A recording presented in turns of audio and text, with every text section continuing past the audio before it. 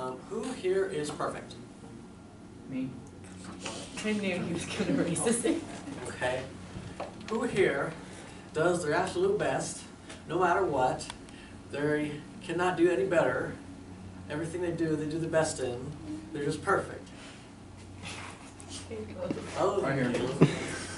Well, so no one raised their hand, so apparently no one's perfect. I did. But no one also raised their hand for they did their best, No.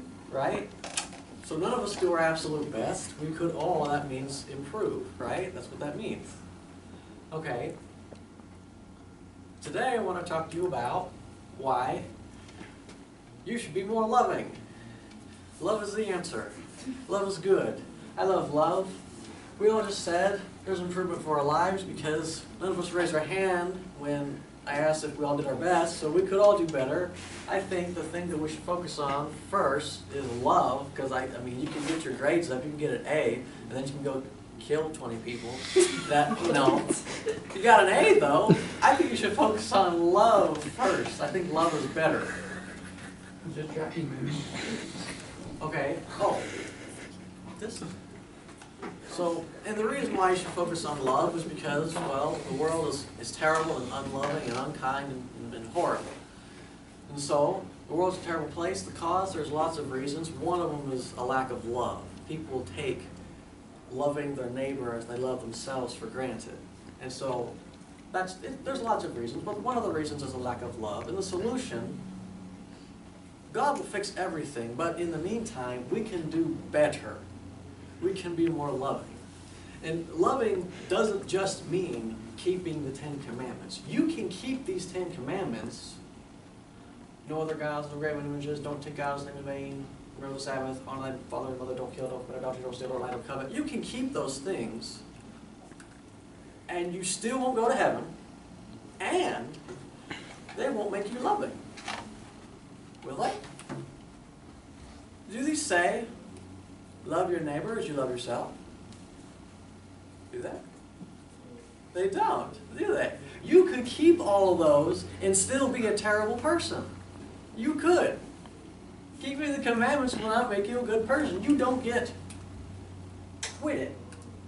You don't get rewards for obeying the law and keeping the law, you just don't get punished. You don't get rewards for obeying the speed limit. You don't get a check. If you well, if you go over the speed limit, you get a ticket. You don't get rewards for keeping the law. You're supposed to keep the law. Keep it. You won't. You're not a good person for keeping the commandments. You're supposed to keep them. It won't make you a loving person. So the reason why I think we need to talk about love, and the reason why I want to talk about love today because I think love is awesome. I think it's good. I think loving is more logical. Being more loving is more logical. We already think it's something we should do. We already know it's something we should already work on.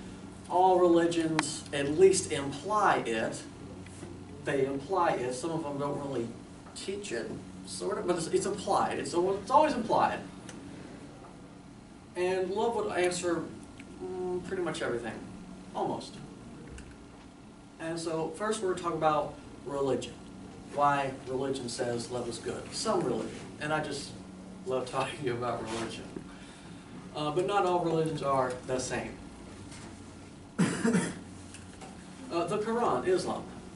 I actually was, I don't have my own Quran, so I, I, I couldn't actually go to it and like and, and cite it, but like there's not really a whole lot of love in the Quran. I actually, I, I try to compare with the Bible because like, well, just so many people believe in the Quran, so surely it must be a convincing book.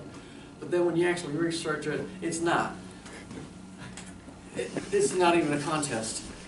Um, th- this is two verses in the Quran. Uh, this says, Oh, you who believe, enter absolutely into peace with Islam. Do not follow the footsteps of Satan. He is outright the enemy to you. Which is somewhat loving. I mean, Satan's bad. You don't want to follow Satan, so that's kind of a loving thing, right? I mean, it's the best Quran's got. Another verse is, God does not forb- forbid you from being good to people that are mean to you. That's basically what it says. So you can be nice to people that are mean to you. However, it says being being good to those, and then it says being just. Now, what is just to a Muslim? Well, that's a different topic. Hinduism, that's another religion. Uh, they go by the Gita, that's their book. Now, I don't actually know what the Gita looks like. I typed it into Google to find out what it looked like, and this is popped up. It's not as simple as the Bible. You just type in the Bible and the actual Bible will pop up, so that's cool. But what does Hindus teach about love? Well, these are actually some good verses. Like, I actually like these. But of all I could name, verily love is the highest, and love and devotion make one forgetful of everything else, love that unites the lover with me. Now, I couldn't actually find these in the actual Gita, but when I typed them up, they popped up, but I couldn't actually find the actual verse. So I don't know the actual context of it. But it sounds nice on the surface. And then the other one is, this one, I mean, surely this is awesome, right? Do everything you have to do um, with not greed or ego or lust, not with envy, but with love, compassion, humility, and devotion. Wow, that's nice. That's wonderful. That, that's incredible. Wow, that's incredible. And then we have the Bible. I like the Bible. I think it's a good book. Uh, what does the Bible have to say about love? I mean, maybe. Does the Bible have anything to say about love? Maybe. Um, this is Jesus talking, but I say unto you, love your enemies, bless them that curse you, do good to them that hate you, and pray for them which despitefully use you and persecute you. That is extreme. Could you love someone that hates you?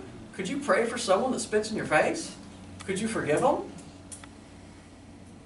That's kind of what he's saying.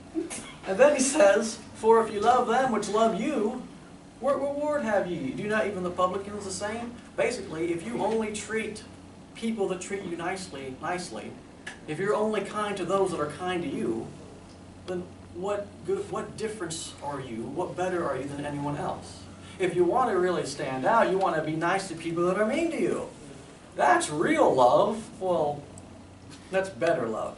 Because there's, there's a bunch of types of love. I- If I had time, I'll get into that. John 3.17. This is the verse after John 3.16. Uh, but God sent His Son not into the world to condemn the world, but through Him the world might be saved. And then 2 Peter. God is not willing that any should perish, but that all should come to repentance. And the Quran didn't really have any, so I just threw a couple extra. And the Bible says, Whosoever will, let him take the water of life freely. And the First Corinthians, really meditate on this one.